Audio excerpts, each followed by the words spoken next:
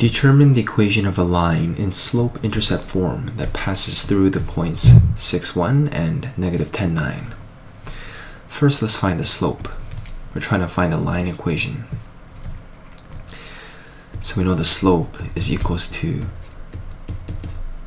y2 minus y1 over x2 minus x1. So this here is our x1, y1.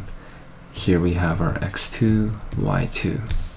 So the slope is equals to y2, which is 9 minus y1, 1, over x2, which is negative 10, minus x1, which is 6. So the slope here is 8 over negative 16, which is negative 1 half. So we know the slope, and we have a slope, and we have a point. It doesn't matter which point we use. We'll just, for simplicity's sake, use the first point. So I have this slope point form of the equation of a line, which is y minus y1 equals mx minus x1. This is a good one to memorize.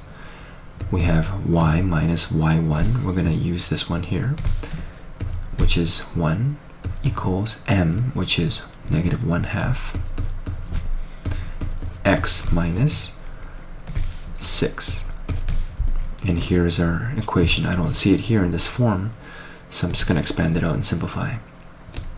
So we have y is equals to, and I'm going to just add the 1 right now so I don't forget about it. We have negative 1 half x, and we have a negative times a negative is a positive, and we have 1 half times 6 is 3. So we have positive 3 and positive 1, which makes a positive 4.